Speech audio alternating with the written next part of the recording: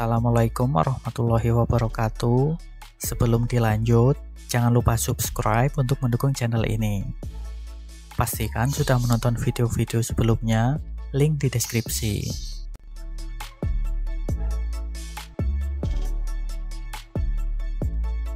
Sama dengan statement if, elif, atau bisa disebut else if, juga digunakan untuk membuat keputusan decision dalam program.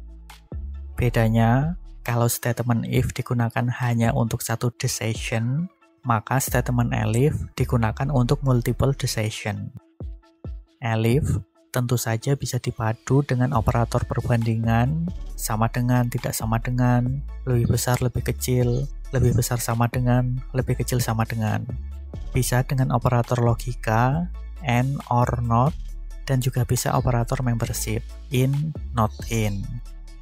Untuk demonstrasinya, bisa memodifikasi program di file ini yang sudah dibahas di video 8a, statement if dengan logika perbandingan.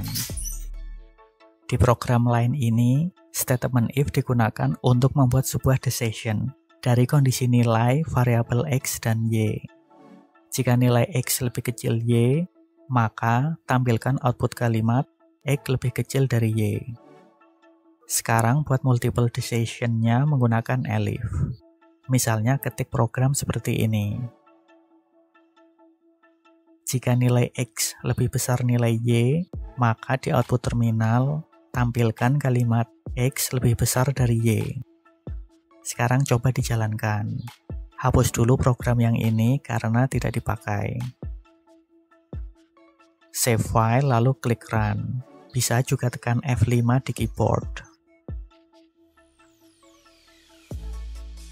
Ya, perhatikan di output terminal, karena nilai X sama dengan 15 dan nilai Y sama dengan 10, maka outputnya adalah X lebih besar dari Y.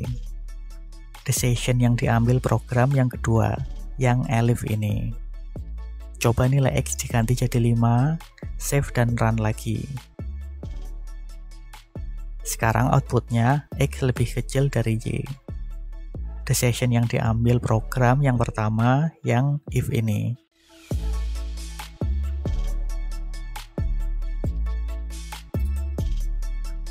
Biar tambah memahami, berikutnya ini adalah contoh penggunaan elif yang sangat umum, yaitu untuk membuat pengelompokan atau klasifikasi.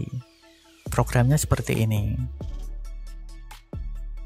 Ini deklarasi variabel score, di set nilainya 78, dan variabel nilai isinya kosong. Bagian ini adalah multiple decision berupa klasifikasi atau pengelompokan nilai skor. Jika nilai skor lebih besar sama dengan 80, maka variabel nilai di set A.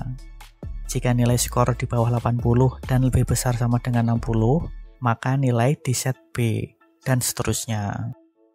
Lalu bagian ini untuk menampilkan hasil di output, berupa kalimat skor sekian maka nilainya sekian. Coba save dan run. Ya, skor 78 maka nilainya B. Coba ganti nilai skor jadi 95, run lagi. Skor 95 maka nilainya A. Tutorial lanjut di video berikutnya, link di deskripsi. Jika ada pertanyaan, silahkan tulis di komentar. Jangan lupa subscribe untuk mendukung channel ini. Bagi yang membutuhkan file programnya, link download di deskripsi. Terima kasih sudah menonton, semoga video ini bermanfaat. Wassalamualaikum warahmatullahi wabarakatuh.